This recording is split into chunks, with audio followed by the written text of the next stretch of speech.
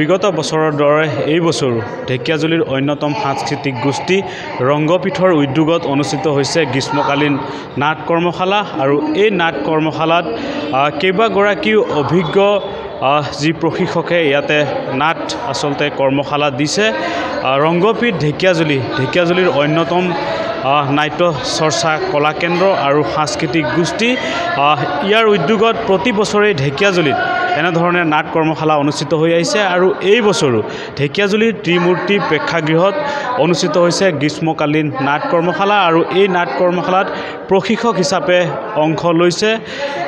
অসমৰ ভ্ৰাম্যমান থিয়েটাৰৰ এগৰাকী বলিষ্ঠা অভিনেত্ৰী তথা অপেচাদাৰী নাট্যগোষ্ঠীৰ এগৰাকী পৰিচালিকা চিমি গোস্বামী আৰু ইয়াৰ লগতে আন কেইবাগৰাকীও যি অভিজ্ঞ ব্যক্তি ইয়াত অংশ লৈছে আমি পোনে পোনে সেই দৃশ্যাংশ দেখুৱাম।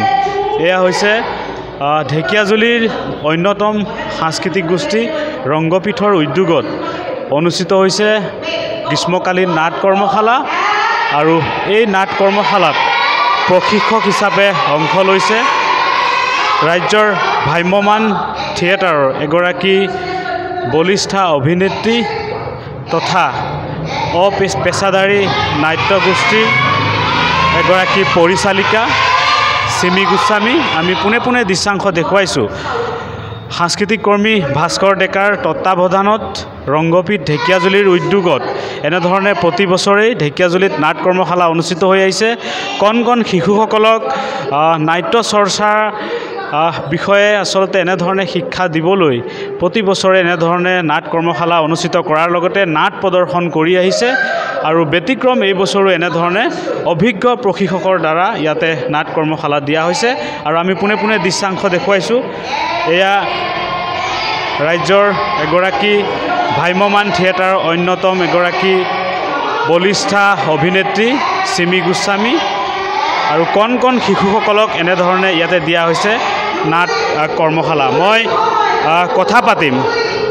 এইগৰাকী বলিষ্ঠা অভিনেত্ৰী ভ্ৰাম্যমান থিয়েটাৰৰ চিমি গোস্বামী। বাইদেউ কি ক'ব? ৰংগপীঠৰ উদ্যোগত এই বছৰো অনুষ্ঠিত হৈছে ভাল লাগিছে কাম কৰি। প্ৰত্যেক বছৰে মই ৰংগপীঠলৈ আহোঁৱেই কাম কৰিবলৈ। আৰু ৰংগপীঠ এনেকুৱা এটা নাট্য আচলতে কি ক'ম এতিয়া সংস্থা এনেকুৱা এটা অনুষ্ঠান। যিটো অনুষ্ঠানৰ পৰা যিটো নাট্য সংস্থাৰ পৰা বিভিন্নজন জন্ম হৈছে অভিনেতা অভিনেত্ৰী নাট্যকাৰ পৰিচালক আৰু সমগ্ৰ অসমত এতিয়া তেওঁলোকে কাম কৰি আছে। গতিকে প্ৰত্যেক বছৰেই আহোঁ মই আহি পেলাই শিশুসকলৰ লগত কাম কৰোঁ মোৰ বিৰাট ভাল লাগে। আচলতে মইহে তেওঁলোকৰ পৰা বেছি শিকি আছোঁ। আৰু সেইকাৰণে মই ভাবোঁ যে এইটো কেৱল জুলাই মাহতে নহয় এতিয়া জুলাইত বন্ধ পাওঁ কাৰণে গৰম বন্ধৰ কাৰণে জুলাই মাহত কৰা হয়। গতিকে জুলাইৰ পৰা যদি আমি কেনেবাকৈ শীতকালীন শীতলৈ যদি লৈ যাব পাৰোঁ তেনেকুৱা যদি প্ৰত্যেক সমগ্ৰ অসমতে আৰু এটা শীতকালীন তেনেকুৱা এটা কৰ্মশালা হয়। বিশেষকৈ এইটো এটা জটিল কলা মিশ্ৰ কলা আৰু এনেকুৱা এটা মাধ্যম গতিকে সকলোখিনি ইয়াত পোৱা যায় আৰু ল'ৰা ছোৱালীয়ে সকলো পাব। ইয়াৰ পৰা কেৱল এজন অভিনেতা অভিনেত্ৰীয়ে নহয় মানুহ হ'ব।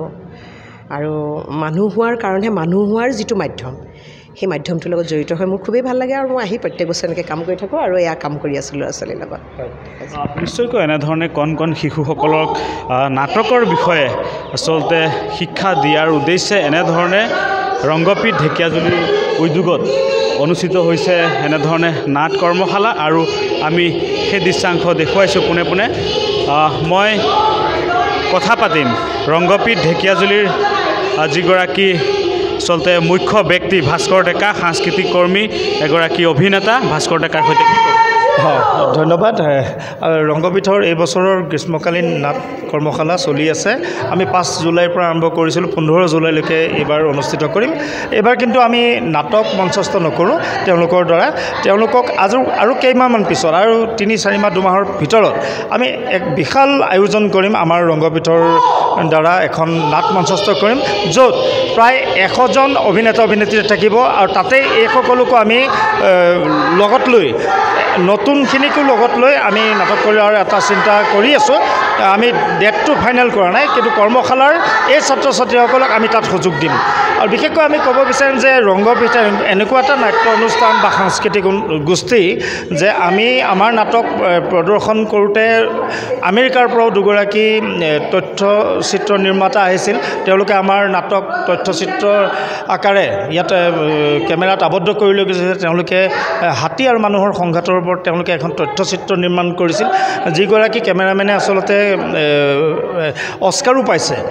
তাৰপিছত আমি ঊনৈছশ বিয়াল্লিছ চনৰ ঢেকীয়াজুলিৰ যে শ্বহীদ এই শ্বহীদৰ ওপৰত আমি নাটক মঞ্চস্থ কৰিছোঁ প্ৰায় ষাঠিগৰাকী অভিনেতা অভিনেত্ৰী লৈ। গতিকে ৰংগবীত তেনেকুৱা এটা অনুষ্ঠান য'ত আজি আকৌ নতুনখিনিক ন শিকাৰুসকলক কৰ্মশালাৰ মাধ্যমেৰে নাটকৰ অ আ ক খ আমি শিকাই আছোঁ। আৰু পৰৱৰ্তী সময়ত আমি আৰু বিশালভাৱে এই কৰ্মশালা অনুষ্ঠিত কৰাৰ এটা চিন্তা চৰ্চা কৰিছোঁ। নিশ্চয়কৈ এনেধৰণে ৰংগপীঠ ঢেকীয়াজুলি যি নাট্য চৰ্চা অনুষ্ঠান সাংস্কৃতিক গোষ্ঠী তেওঁলোকে এনেধৰণে নাটকৰ অ আ শিকাইছে কণ কণ ছাত্ৰ ছাত্ৰীসকলক আৰু এনেধৰণেই প্ৰতিটো বছৰেই ৰংগপীঠ ঢেকীয়াজুলিয়ে ঢেকীয়াজুলিত অনুষ্ঠিত কৰি আহিছে নাট্য যি কৰ্মশালা আৰু এই যাত্ৰা তেওঁলোকৰ অক্ষুণ্ণ থাকক